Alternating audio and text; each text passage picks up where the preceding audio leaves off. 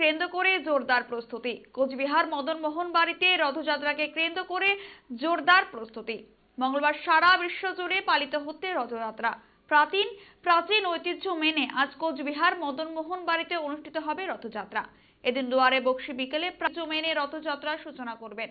রথযাত্রা উপলক্ষে পুজোরা পুজোরও আয়োজন করা হয়েছে বলে জানান রাজপুরোহিতেরা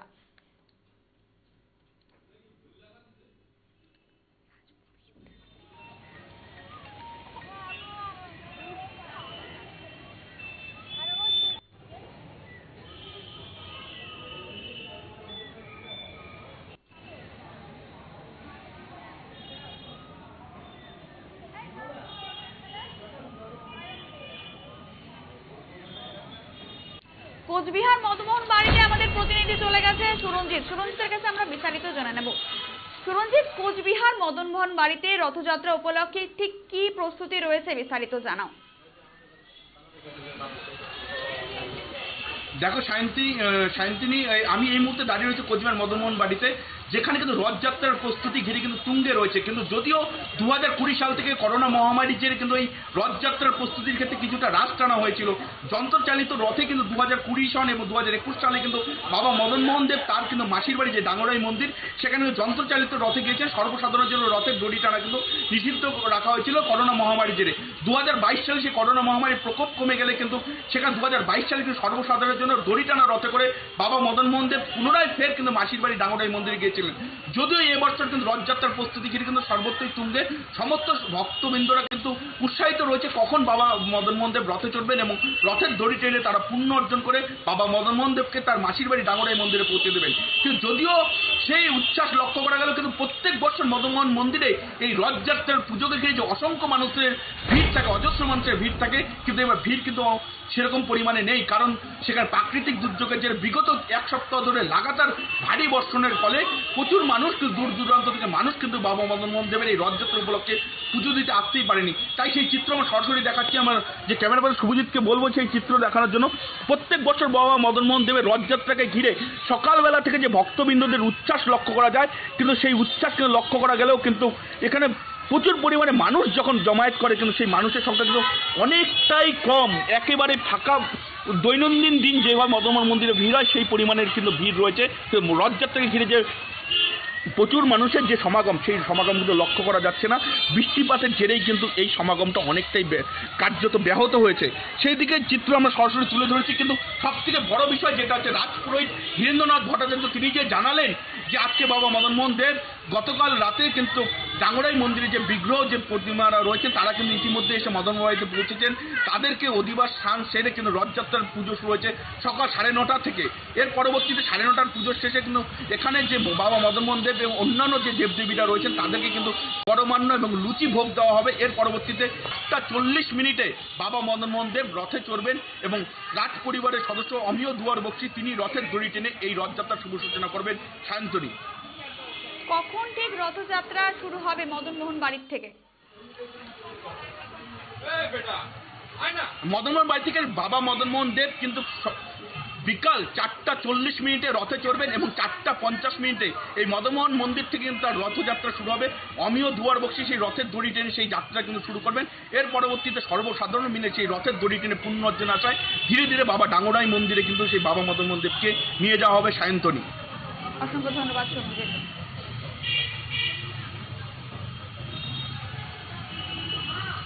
Thank you.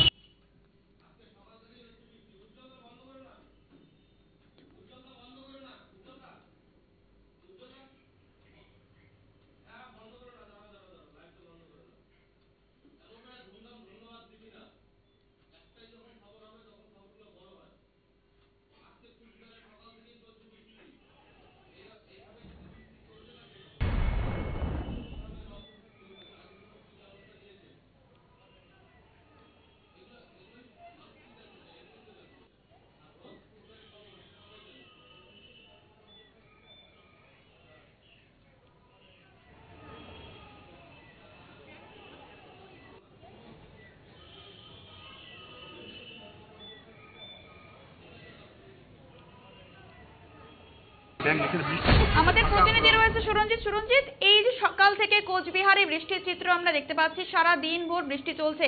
সেই পরিস্থিতিতে যে যদি চারটা যেই সময় রথযাত্রা শুরু হবে সেই সময় যদি জোরদার বৃষ্টি থাকে কোচবিহারে ঠিক কি ব্যবস্থা নেওয়া হয়েছে তাদের পক্ষ থেকে?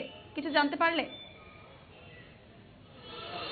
হ্যাঁ, না অবশ্যই সেখানে যে কোনো, যে দেবত্র টাস্ক বোর্ডের পক্ষ থেকে কর্তৃপক্ষকে জানানো হয়েছে যে মদমা মদন মোহন দেব যেভাবেই রথে চড়ে প্রত্যেক বছর যান সেই বৃষ্টিকে উপেক্ষা করে, সেই বৃষ্টি উপেক্ষা করে যাবে, কিন্তু ভক্তবিন্দু যে যে ঢল সমাগম, সেটা কিন্তু লক্ষ্য করা যাবে। বৃষ্টিতে ভিজেও কিছু উন্নয়নের আশায় সাধারণ মানুষের প্রত্যেক বছর শুধু এবার নয়, বিগত সাত আট বছর আগে কিন্তু প্রচুর পরিমাণে বৃষ্টি ছিল। সেই বৃষ্টিকে উপেক্ষা করে কিন্তু হাজার মানুষ জমায়েত হয়েছিল। বাবা মনমোহন দেবের এই রথযাত্রাকে রথের দড়ি টেনে পূর্ণ অর্জনের আশায়। এখানে স্থানীয় কিছু ভক্তবৃন্দ রয়েছে, তাদের সাথে আমরা কথা বলার চেষ্টা করব। তারা কি জানাচ্ছেন?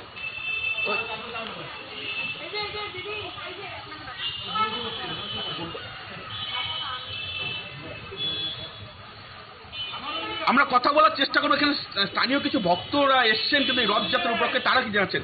এবারে পুজোটা কীভাবে দেখছেন? এবারে রথযাত্রায় আমি কলকাতা থেকে এসেছি।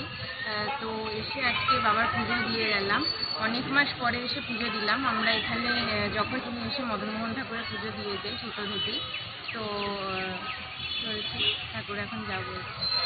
এই যে বৃষ্টিকে উপেক্ষা করে মানে রথযাত্রার অন্যান্য দিনের যে বৃষ্টি না থাকলে একটা আনন্দ আমেজ এবারে সে আনন্দ আমেজটা কীভাবে দেখছেন? বৃষ্টি বৃষ্টি রথের সময় তো বৃষ্টি না হলে রথ পূর্ণই হয় না। বৃষ্টির সময় মানে রথের সময় অন- সবসময় আহ, বৃষ্টি থাকে।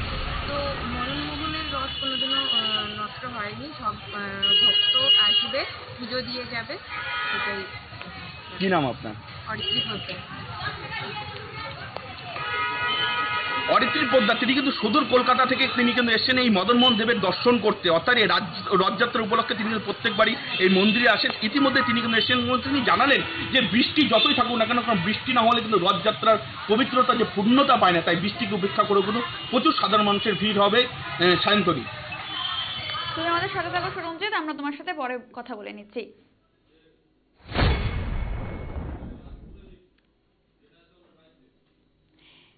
এই রথযাত্রা নিয়ে মদন মোহন বাড়ির রাজ পুরোহিত কি জানাচ্ছেন শুনে নেব। আজকে তো রথযাত্রা মানে কি প্রস্তুতি চলছে আর কতটা? আমাদের প্রস্তুত আমাদের আগের থেকে চলছে। গতকাল রাত্রে আমাদের ডাংরাই মন্দির এবং রাজমাতা মন্দিরের বিগ্রহরা এখানে আস- আসছে। বাবাকে রথে নিয়ে যাওয়ার জন্য। তারপরে সন্ধ্যার আরতির পরে আমাদের অধিবাস বাবার অধিবাস কীর্ত হয় এবং অধিবাসের পরে এই আজ- আজকে সকালে আজকে সকালে সাড়ে নটার পরে আমার বাবার বিশেষ পুজো। এখানে স্নান, স্নানের পরে বাবাকে নিয়ে যাওয়া হয়েছে কাটা কাটামিয়া মন্দিরে।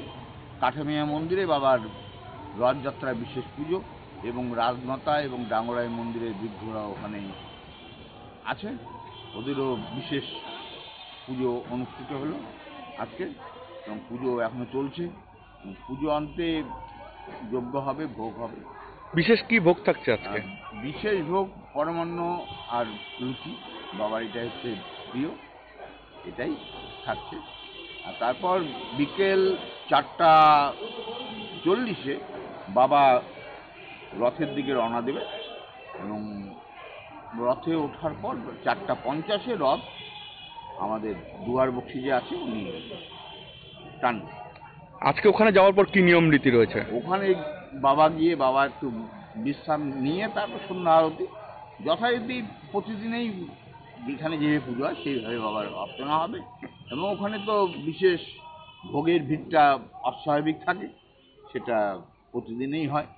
সাধারণ মানুষ এবার- এবারে রথ টানতে পারবে? রথ টানতে প্রত্যেকে পাবে কারণ এইবার আমাদের দড়িটা হ্যাঁ দড়ি কবে আবার বাবা ফিরে আসবেন এই বাবা আজকে যাবেন এই মঙ্গলবার এবং আগামী মঙ্গলবার বাবা ফিরে আসবে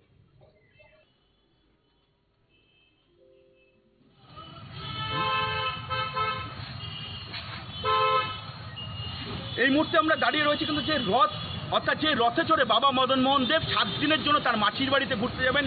প্রত্যেক বছর এই রথে করে কিন্তু বাবা মদন মোহন দেব, তিনি কিন্তু তার মাসির বাড়িতে যান, ঠিক আমার পিছনে রয়েছে সেই পবিত্র রথ। সেই রথকে কিন্তু ইতিমধ্যে সাজানো, করা হচ্ছে এবং সাজানো হচ্ছে। বিভিন্ন রকম ফুল এবং বিভিন্ন গাছপাতা লতা এবং বিভিন্ন সুসজ্জিত ফুলের মাধ্যমে যে রথকে সুন্দরভাবে সাজিয়ে তোলা হয়। সকালবেলা থেকে সেই চিত্র কিন্তু আমরা প্রত্যেক বছর দেখতে পারি। যদিও এবছর বৃষ্টির কারণে এই কাজ কিছুটা থমকে গিয়েছে, কিন্তু পূর্ণতার অর্জনে সাধারণ মানুষ কিন্তু পথ চলতি মানুষ, তারা কিন্তু বারংবার এই রথযাত্রাকে একটুবার ছুঁয়ে প্রণাম করে পূর্ণ অর্জনের আশায় তারা কিন্তু সে আয়োজন করছেন এবং রথকে পূর্ণতা দিতে অর্থাৎ সুন্দরভাবে সুসজ্জিত করতে কর্মচারীরা কিন্তু দেবত্র ট্রাস্ট বোর্ডের যে কর্মচারীরা আছে কর্মীবৃন্দরা রয়েছে, তারা কিন্তু রথযাত্রাকে রথকে সুন্দরভাবে সাজাতে তারা ব্যস্ত রয়েছে। ইতিমধ্যে কিন্তু রথের যে ঘোড়া, অর্থাৎ যে আমরা কথিত রয়েছে যে ঘোড়ার মাধ্যমে রথ টানা হয়, যদিও দড়ি সেই ঘোড়াকে কিন্তু সেই রথের মধ্যে তোলানো হচ্ছে এবং সেইভাবে সুন্দরভাবে শেষ পর্যায়ে যে প্রস্তুতি, সেই প্রস্তুতি কিন্তু সুন্দরভাবে সাজানো হচ্ছে। সেই চিত্র আমরা দেখো এই রথে করে কিন্তু বাবা মদন মোহন দেব, অর্থাৎ কোচবিহারের প্রাণের ঠাকুর বাবা মদন মোহন দেব। এই রথে করে কিন্তু বিকেল চারটা পঞ্চাশ মিনিটে তার মাসির বাড়ির উদ্দেশ্যে রওনা দিবেন সাত দিনের জন্য। সেখানে সাত দিন থাকার পর আগামী মঙ্গলবার ঠিক বিকাল পাঁচটায় আবার এই রথে করেই ফিরে আসবেন কোচবিহার মদন মোহন মন্দিরে। সেই চিত্র আমরা সরাসরি দেখালাম ডিজিটাল বাংলার পর্দায়। অসংখ্য ধন্যবাদ। আমরা শুনে নিলাম কোচবিহারে রথযাত্রা বিকেল চারটা পঞ্চাশ থেকে রথযাত্রা শুরু হবে। বাবা মদন মোহন দেব বিকেল চারটা পঞ্চাশ মিনিটে কিন্তু মাসির বাড়ির উদ্দেশ্যে রওনা দেবেন। তাদের ভোগ, বিশেষ ভোগ বিশেষ ভোগ হিসেবে থাকবে আজকে পরমানন্দ আর লুচি। রথযাত্রাকে কেন্দ্র করে জোরদার প্রস্তুতি কোচবিহার মদন মোহন বাড়িতে মঙ্গলবার সারা বিশ্ব জুড়ে পালিত হচ্ছে রথযাত্রা। প্রাচীন ঐতিহ্য মেনে আজ কোচবিহার মদন মোহন বাড়িতে অনুষ্ঠিত হবে রথযাত্রা। এদিন দুয়ারে বক্সি বিকালে প্রাচীন ঐতিহ্য মেনে রথযাত্রার সূচনা করবেন। রথযাত্রা উপলক্ষে পুজোর আয়োজন করা হয়েছে বলে জানান রাজ পুরোহিত